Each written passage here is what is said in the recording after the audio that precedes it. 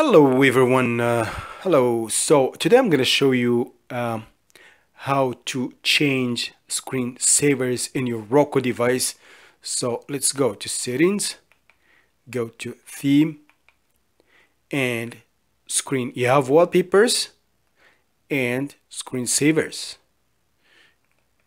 If you're looking to get wallpapers for to enable wallpapers for your TV, check my other videos. We're talking today about screensavers and you can choose this. City stroll the clock this or this or this whatever. You can choose one. If you like cars nature solar system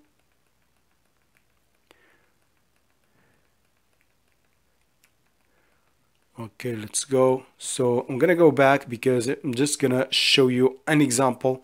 Let's go with any screensaver.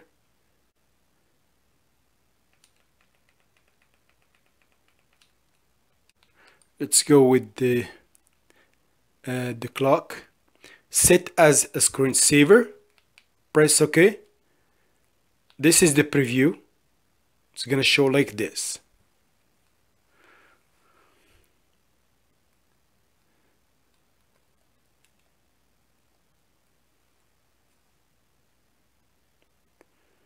So that's it. That's how it works with the screensavers. You can choose whatever uh, picture you want for your screensaver on your Roku device. Please subscribe, leave your comments if you have any questions. Have a good day.